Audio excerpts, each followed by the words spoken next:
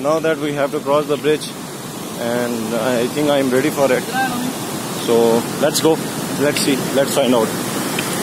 Oh my god. Just look at the current. Hello, Mr. Bali. Hello.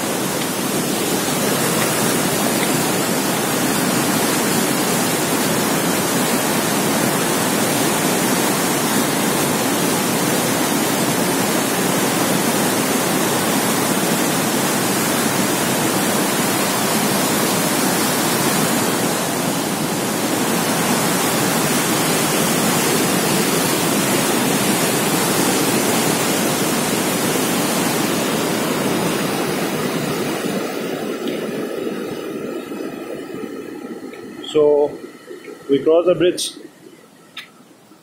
pretty much easily.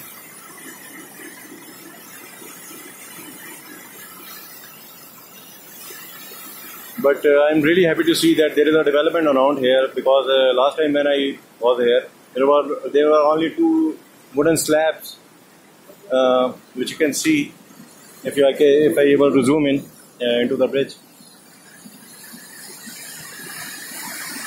These were the two wooden slabs that were only placed here to cross the bridge.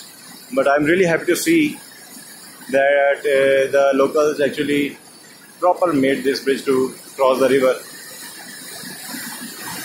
to transfer their livestock from one place to another.